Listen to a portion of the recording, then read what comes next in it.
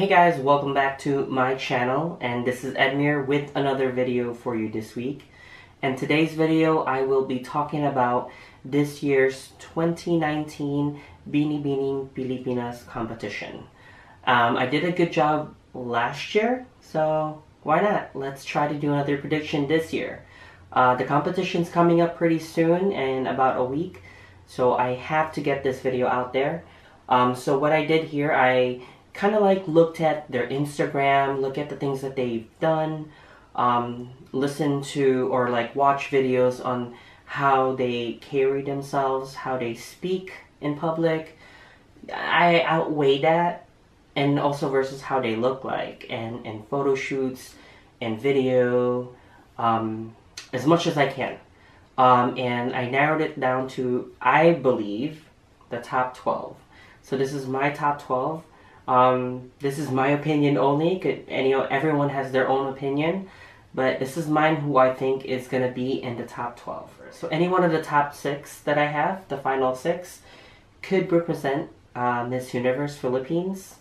So, yeah, so hopefully I have three in my mind that I think will be good for the Miss Universe crown. That's um, going to be Gazini, that's going to be Samantha, and that's going to be Patricia. So either one of those three I think is a strong uh, contender for uh, the crown. Um, just depending on the last part, which is the question, uh, the Q&A basically. So that's the one that's going to determine, I think, the final spot.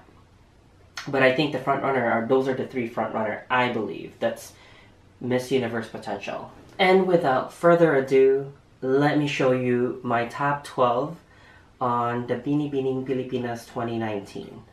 Um, let me know comments down below who your favorites are. I would love to see them. I would be interested in seeing how everyone feels, um, who they think is going to win. Um, so comments down below guys. Don't forget to also give me that like, you know, hit that subscribe button if you want to see more of my uh, videos.